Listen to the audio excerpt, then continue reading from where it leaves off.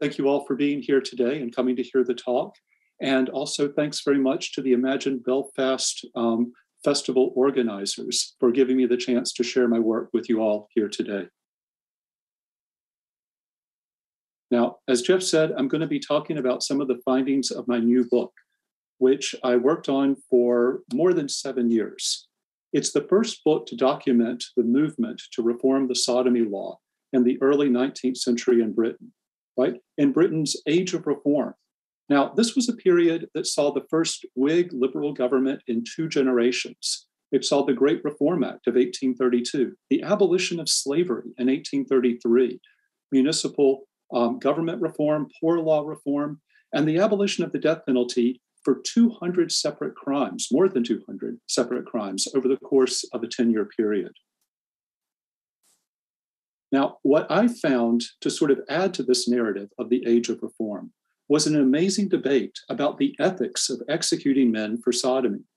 It had its beginnings in the late 18th century and culminated with parliamentary debates in 1840 and 1841, with Lord John Russell, pictured here, making a speech where he argued against the death penalty for sodomy. Many individuals I found, both publicly and privately, advocated for this reform in the 1810s, 1820s, 1830s.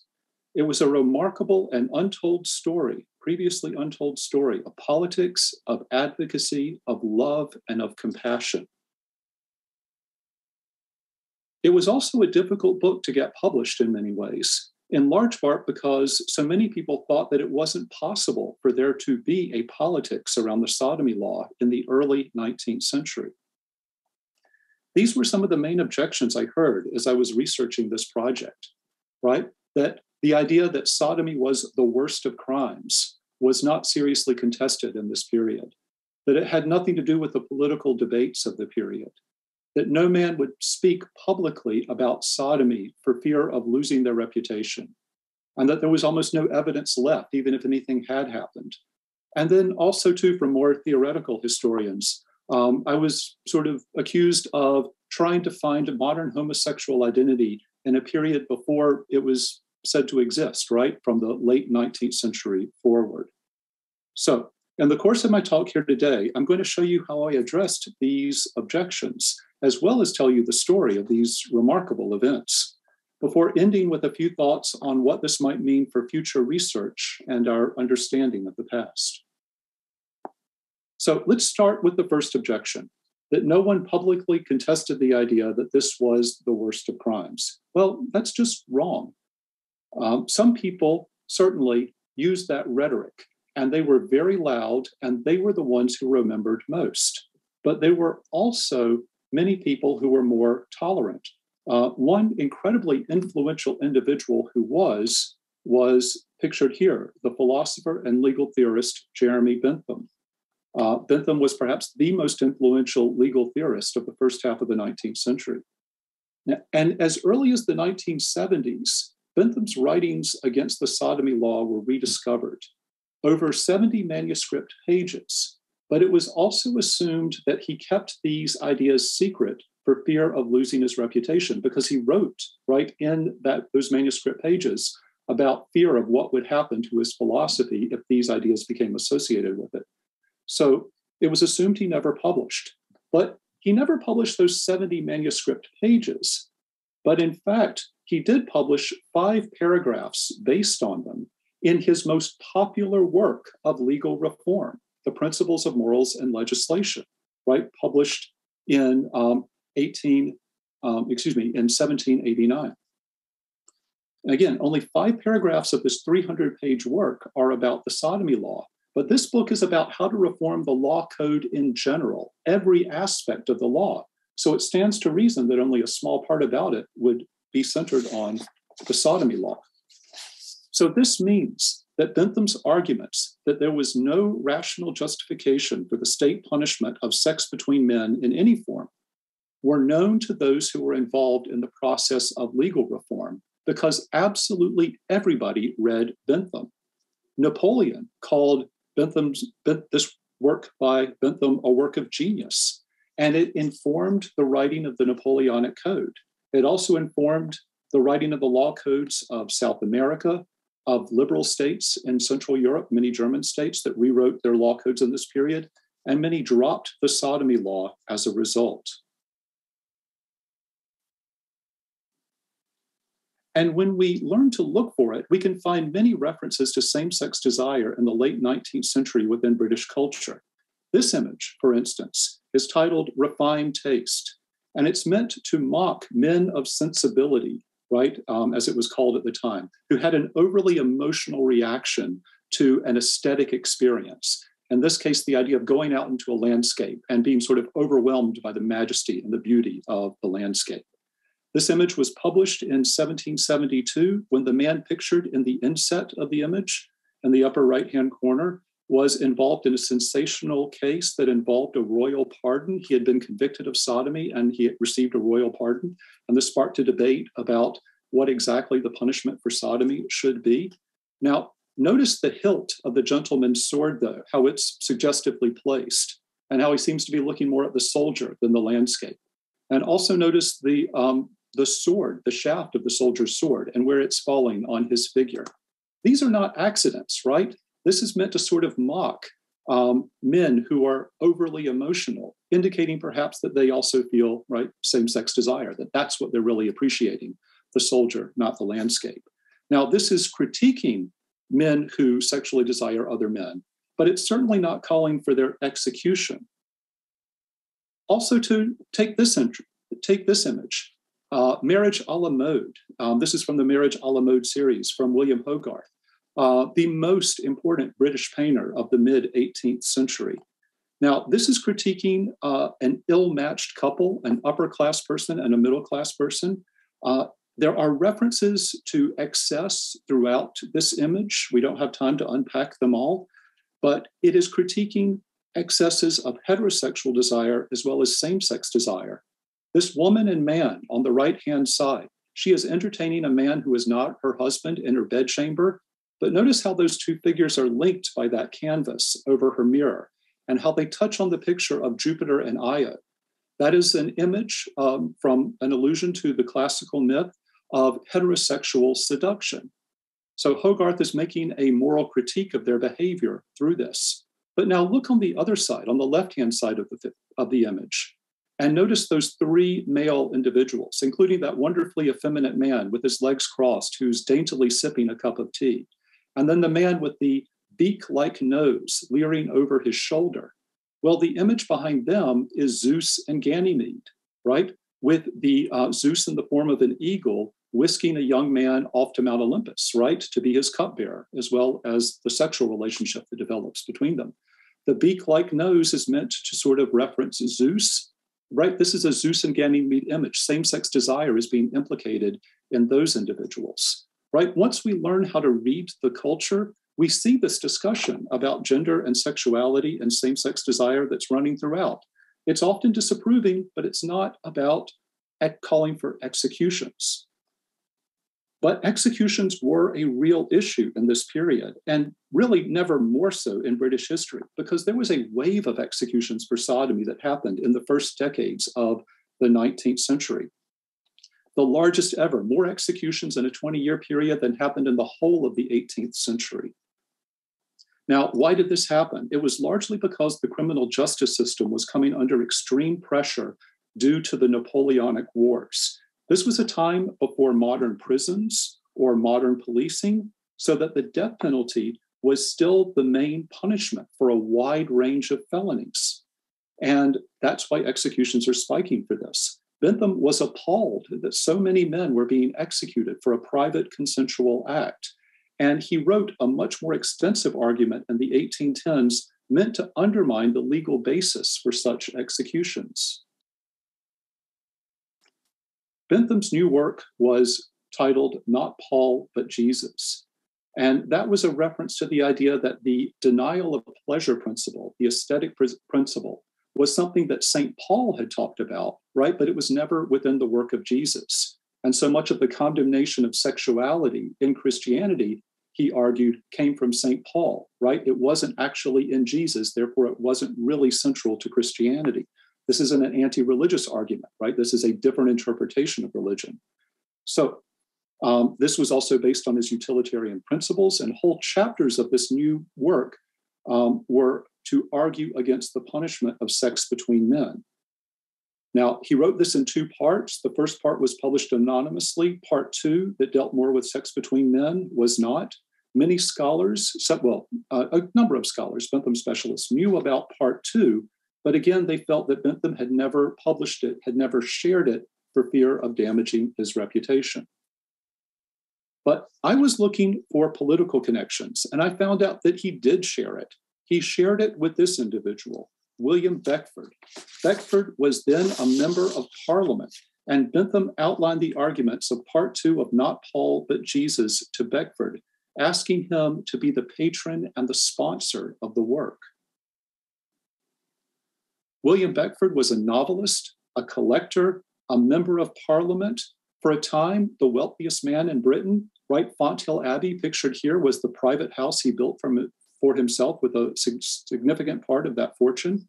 But he had been socially ostracized for decades. He bought a rotten borough seat, so he didn't have to face an electorate. He and William Courtenay, eight years his junior and the son of a Viscount, had been discovered together in 1784 in a sexually compromising position. Now, Beckford wasn't prosecuted. He was too wealthy and too elite for prosecution for this, but he was socially ostracized and shut out from polite upper, upper class society. The invitation was for Beckford to help Bentham lessen the stigma that had so marred his life.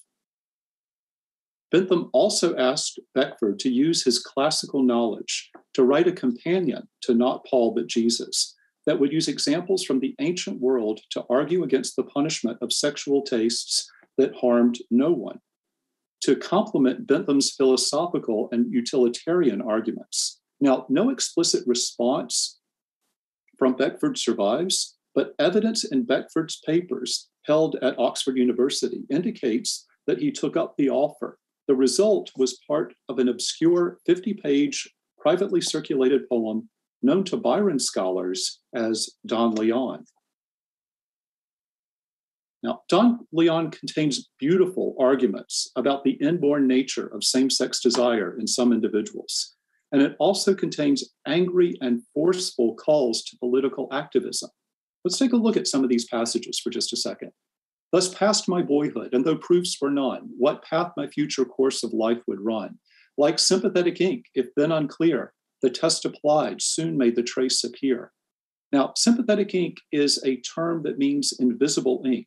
So, what's being said here is that same sex desire can be written in character since birth, but latent, invisible, even to the individual, but only becoming known over time and through experience. Right? What a beautiful metaphor for sexual awakening.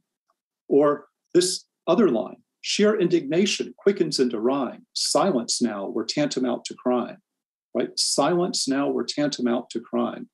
What an amazing precursor to that phrase from ACT UP and Larry Kramer and the fight against AIDS, right? Silence equals death. We can see that early on. These phrases were written in 1817. 1817. But Don Leon is not just about same sex desire, just as Bentham wasn't just about same sex desire in his work on sexuality. It was to end the sodomy law in as a whole. And it made an argument that the sodomy law hurt opposite sex couples as well as same sex couples. The right to marital privacy is violated by the state, by the sodomy law. And including this was part of the political argument to give every man a stake um, in ending the sodomy law, to end the right of the state to intrude in his bedroom, right? So Don Leon has a wonderful narrative about a companionate same sex couple that share emotional, right, um, as well as physical connections, um, and about opposite sex couples, right, in marriage. Both of these are part of the argument. This wasn't written by Byron, but it was written in the voice of Byron since he was associated, at least for some, with allegations that he had committed sodomy, both with men and his wife. Don Leon is not anti religious um, as some have claimed. But again, it's an argument that it is more in keeping with religious principles to end the sodomy law than to keep them. These were the private ways in which sodomy could be discussed in the early 19th century to bring about political change. This is the political idiom of the time that we have to attune ourselves to. All right. What about the other objection, the next objection, the idea that this had nothing to do with popular politics? Well, actually, sodomy allegations were a part of some of the more heated political arguments of the day. Not all, of course, but some. And tolerance extended to some individuals might seem like unequal justice to others and be used in the fractious um, politics between the social classes in the period. Politics was extremely polarized in the 1810s and 1820s. Some say Britain was never closer to revolution than it was in this period, with radicals like William Cobbett, pictured here riding on the back of a demon, bringing the bones of Tom Paine back from America to England to serve as a radical rallying point, right? Um, Cobbett hammered at the corrupt old order that shut almost all out of politics, was just a self serving elite. Um, now, Cobbett's attempt to use the, top, the bones of Tom Paine as a political rallying symbol, that fell quite flat. Um, he made use of other scandals, right? The Bishop of Clogher scandal um, was a very prominent one. The Bishop of Clogher was a bishop in the Church of Ireland uh, who was caught having sex with a soldier in a London public house. The bishop was allowed to post bail and escape while the soldier was forced to stand trial. So, this is an example of unequal justice, right? The upper class person being treated in one way, the lower class person being treated in another. But we've missed what made the story so explosive in the early 19th century. This was not part of the story um, as it's been conventionally told. And that was the fact that another individual named James Byrne, a working class man, a lower class man, had accused the bishop of a sexual advance about 10 years before in Ireland. And the elites in Ireland rallied around the bishop. They ruined this poor man. They um, had him flogged through the streets, and I actually have some cartoons that depict this. He was imprisoned, he was financially ruined. Um, Cobbett brought him to London. He held banquets in his honor, and he is used as an example of what this elite will do to an honest working class man just to protect one of their own. Right? Every time William Cobbett says the name James Byrne publicly, and he does this for years after this, he's evoking this visceral story of corruption and injustice that he's using to try and say that the system is so corrupt it needs to be overthrown. This is at the heart of politics in this period. And, um, and this is successful. So, what Cobbett tried to do with the bones of Tom Paine, he successfully did with the story of James Byrne. So, all right. Now, following the James Byrne story, got me to look again at the Castlereagh suicide, uh, which happened just a few weeks after the start of the Bishop of Clogher affair. Castlereagh was then a cabinet minister, and he confessed that he had been blackmailed for years for the same crime as the Bishop of Clogher. He told this to his friend, Harriet Arbuthnot, and she recorded it extensively in her diaries. He confessed it to George IV, and shortly thereafter, he took his own life. Now, one book investigated this. It was written in 1959 by H. Montgomery Hyde, and he proposed an interpretation for Castlereagh's statements that absolved him of sexual interest between men. And that story that Hyde put together has been quoted ever since. But Hyde was employed by the Castlereagh family, by the descendants of Castlereagh, um, when he wrote the book. Now, he doesn't lie or misrepresent, and Hyde actually does remarkable things to help to put forward the Wolfenden Commission, right, and to lessen the penalties for sex between men in his lifetime in the 20th century. But he does mislead in the book, at least for people who want to be misled. He also provides information to allow people to see the full extent of the story for those who, who wish to investigate it by using his footnotes, right? So it's a very interesting, complicated book that is dealing with the politics of the 19th century and the 20th century when it was written. Um, and I detail, you know, more about Hyde and his book in my own work. So, So, um, knowing how explosive and charged these events, these events were helped me to unpack Robert Peel's response to the Castlereagh suicide. This had not been done before. Uh, and what I was able to analyze was how Peel altered the laws to better protect men like Castlereagh from blackmail for infamous crimes, right? The thing that Castlereagh said um, he was being uh, um, blackmailed for. Uh, but Peel also increased the prosecutions for sex between men um, at the same time, so as not to seem as if he was protecting elite sodomites. Dozens and dozens of reported arrests and court cases um, were um, published, publicized in the summer of 1825. It took a few years for the legislation to work through and for it to be effective. But the summer of 1825 is when these prosecutions really become prominent. This individual, Richard Heber, was forced to resign from Parliament in the summer of 1825 because of this. Among other things, Heber had been accused of propositioning a younger man of his own class. And the first letter in a series that arranged for his resignation between him and Peel had burn after reading written across the top. Now, fortunately, that didn't happen, and I was able to use these records to reconstruct the story. Henry Grey Bennet was also a member of Parliament, and he was run out of his position in the summer of 1825 as well, in a similar way and for similar reasons. Now, William Bankes was not run out of Parliament, but he was in Parliament in the summer of 1825, and he was indignant at what had happened, and he was furious at Peel for what he had done. And he wrote about the session and added that writing to the poem Don Leon. Now, his papers don't confirm this outright, uh, but he, at least not that I've been able to find yet, but textual analysis discussed in Beyond the Law can all but confirm that Bankes wrote some of these later updates.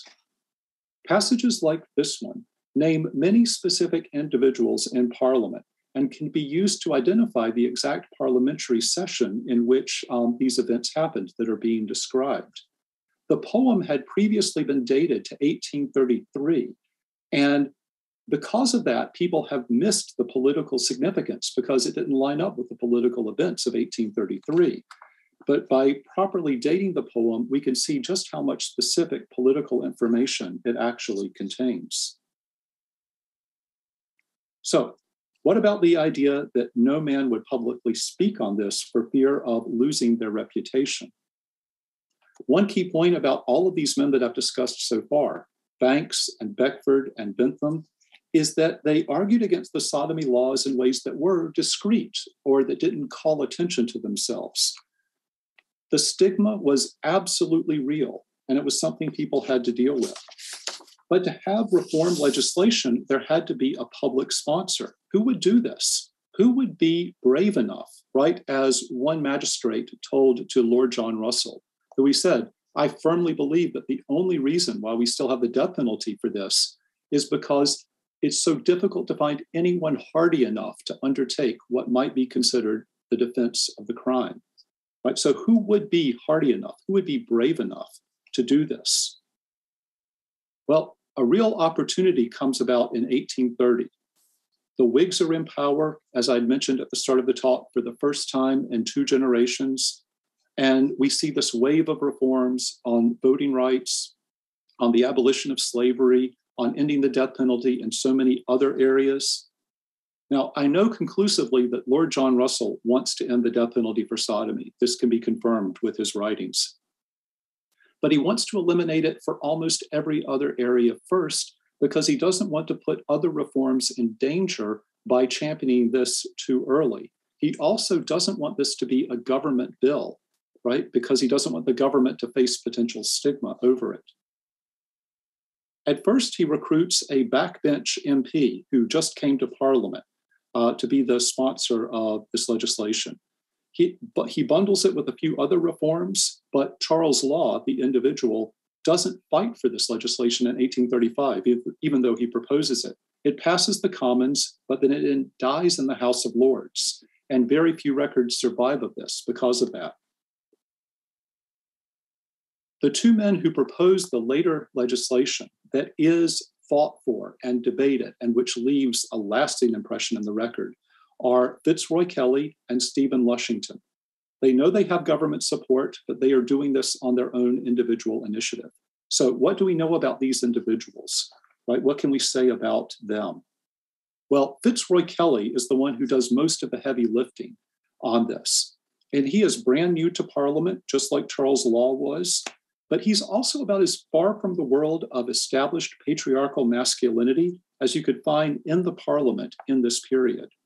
He was the son of the novelist Isabella Kelly, who supported herself and her three children on the proceeds from her writing. She basically saved her family from financial ruin um, through her work as a novelist after the early death of her profligate husband. Uh, Fitzroy Kelly was educated in a day school. He never went to public school, he never went to university, but eventually, through hard work and talent, he would rise to become Attorney General of Great Britain by the end of his career. His brother was William Kelly, an unsuccessful actor who was involved for 10 years in, a in, an, in an emotional, financial, and most likely very romantic relationship with this individual, Matthew Gregory Lewis. Kelly has been described as, quote, the absorbing passion of Lewis's life, unquote. Um, and this was in a book that documented Lewis's attractions to men. Um, this was written in the 1930s. And in fact, um, the same sex desires of Matthew Gregory Lewis have been talked about in scholarship uh, really throughout the 20th and 21st centuries. What about Stephen Lushington, the other half of the, this co sponsor team? He had a long career in Parliament.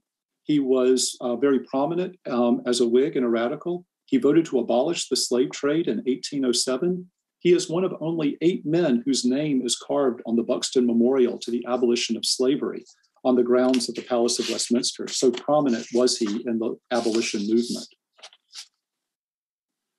He was also trained in the law and he eventually became a judge. He was known for supporting women in divorce and separation cases. He aggressively supported women because he said the law was always so stacked on the side of the men, women needed an aggressive advocate. Lushington was also Lady Byron's legal advisor.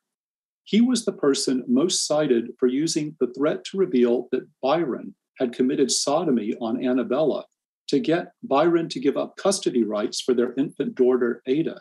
He was blasted in print a decade later for interfering in what a married man and woman might choose to do in their own private bedchamber. So, Lushington is already publicly associated with sodomy. But there's another further family connection. Stephen Lushington's brother was married to Matthew Gregory Lewis's sister. Given the link between Matthew and William, a web of family and kinship connects the protagonists. Family, I argue, is a motivation for taking a risk, for correcting an injustice, for motivating individuals to act in a way that Bentham's utilitarian philosophy alone was not enough. So, what now about the idea that there's almost no evidence that survives about this? Well, when you know the connections uh, that they were trying to hide, it actually becomes a lot easier to find information, and information starts to seem quite abundant. This, for instance, is a passage that Lord John Russell, um, a, a, verbatim transcript of something from Hansard, the official parliamentary record of the debates of Parliament. Now, this is where Lord John Russell is talking about his feelings on the elements of the bill that Kelly and Lushington put forward. He never says the word sodomy, but he's speaking about the clauses of the bill in the order that they appeared in the bill. Um, so if we look to where he says, it was because the offense was beyond the law, right where the book title comes from, and above the law. It was an offense that could only find its punishment in the feelings of mankind. Its punishment must be on the conscience of the offender, right? Um, its punishment was in the retribution of eternity, but they, as men, could not attempt to assign it its adequate punishment, right? So it's not a ringing endorsement of the behavior. Certainly, we wouldn't expect that from a cabinet minister, right, and a leader in the House of Commons in um, 1840. But it is how you can have the government arguing to end the death penalty for sodomy in this period. And it passes. It passes every single vote right in the House of Commons. And we need to understand this. We need to have this become part of how we understand the early 19th century, that this was possible. All right. Another thing we need to understand is that this bill was killed in the House of Lords, but only in its final vote in the House of Lords. And it was one of the most reactionary members of that body by almost every account from the time that killed it. He killed it by saying that if Parliament passed this bill, it would be saying that it condoned sodomy. And he repeated that word, sodomy, over and over. Uh, and almost all of the supporters of the bill never said that word, right? And this made the more tepid supporters of the bill flee from it, right? And this is how it ended up being killed in the House of Lords. This was also the MP, um, the, the Lord, the member of the House of Lords, by the way, who had challenged the Duke of Wellington to a duel over Catholic emancipation. So strongly did he feel that Catholics should not have the vote. Um, he resisted almost every Whig reform in the age of reform. Now, the Duke of Wellington, by contrast, was friends with William Bankes, and he gave a character witness to Bankes uh, at his trial when Bankes had been arrested for having sex with a, um, with a soldier. The, Welling, the Duke of Wellington also gave a character witness for another friend who faced similar accusations a few years later. So, was this the worst of crimes? Well, most quietly supported the reform. Most MPs, we know that because of their votes. Um, and many of them supported it on the record as well as off, because some of these votes have division lists, so the names of the supporters are recorded for all time. Individuals refuse to see friends and family as sodomites. So, what does this say about the constituencies of these MPs, though? Right? What does it say um, about the broader culture? What implications can we draw from this? So, you might ask now, let's return to that final question. Am I trying to push modern homosexual identity back into a period before the late 19th century? No. What I'm trying to do is understand individuals in the context of their time. Individuals like Anne Lister and the Chevalier d'Eon, they used Rousseau's ideas, right? The mid 18th century ideas about the unique or the expressivist self and the imperative for individuals to follow that inner voice and to be true to an authentic idea of the self. They used to un- use this to understand how they were different from others, and they used it to help them to live authentic lives. For Lister, over who she loved, right? And for the Chevalier d'Eon, over how they expressed their gender identity, right? Rousseau is important, but he's not the only text that could be used this way. He's only one of many. In fact, most of the major philosophers of the modern period who propose a theory of the state and politics based on liberal principles, they also have a work where they talk about the individual and the education of the individual for that particular society. Individuals always have to be understood in the context of their time, right? So these first works um, by Locke and Rousseau and Wollstonecraft and Freud, even too, um, are about how you understand the self, right, and the individual. The second work is um, their works on sort of how society should be structured based on these principles. You could even do this with Hobbes, although Hobbes's theory of the individual and his theory of the state are both right within Leviathan. With these ideas in mind, um, and this evidence in mind, it also seems like the emphasis on the late 19th century as the critical moment for change and understanding the self in relation to sexuality, that may have been due to just a lack of information and research on gender and sexuality for the 18th and early 19th century when these books, right, that set the whole framework for the history of sexuality were written. These books were written more than 40 years ago. We didn't know about the diaries of Anne Lister, right, um, back then the Chevalier d'Eon, if anybody knew about it, you know, was they, they weren't discussed significantly, right? We've added new information. And in fact, if you reread these books, they're actually compatible with this idea of thinking more about the 18th century and early 19th century as in a continuum with what happens in the um, in later periods. So I think what I found for the early 19th century strengthens the argument for looking more closely at the 18th century material Um, other important events, like the one that I found, may yet to be discovered, or other events that we know just a little bit or sort of superficially may prove to be a lot more significant than we think. There are scholars who have been talking about this for a very long time the importance of the 18th century, Randy Trumbach, Rictor Norton. There are newer scholars that are doing amazing work on 18th century using these types of ideas. Uh, Jen Manion's Female Husbands, right? Dominic Janes, Picturing the Closet, right? All very important works. These individuals, right, may not have been modern homosexuals, but we shouldn't just say what they were not, right? We need to understand what they were how they thought about themselves and how society thought about them.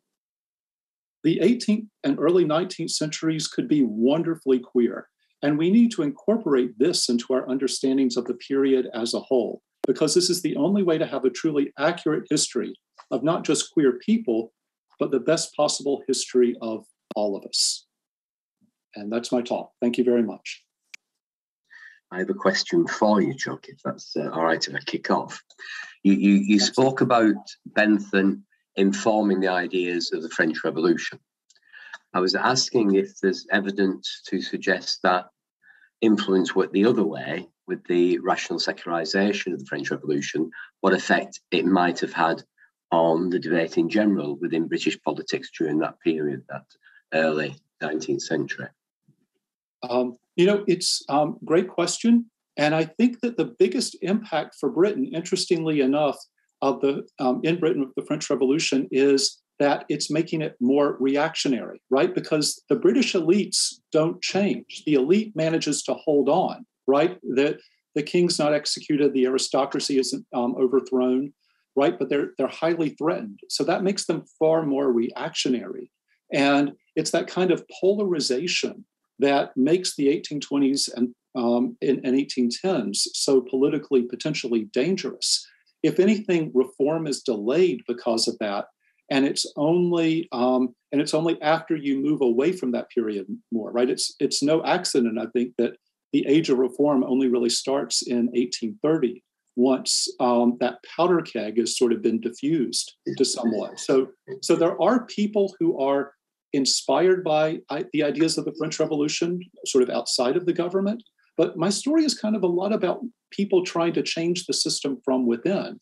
And so often what they want to do is harken back to this more sort of British tradition of, of Bentham, right?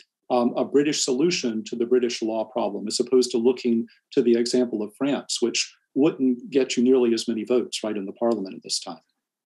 No. Thank you, Joe. Um, We don't appear to have any other questions, um.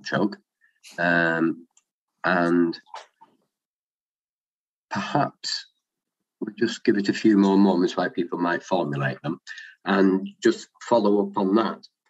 From that question, you seem to be suggesting that the reactionary nature of the British the British establishment stifled the reforms you're talking about could could you see any traces of that reactionary um, attitude within the 1820s and 1830s beyond the right wing Tory that you identified? Uh, West, Duke, the Earl of uh, West Wesley, whatever he was. Sorry, I, I didn't get his name. Oh, yeah, uh, uh, uh Winchilsea. Winchilsea, yes.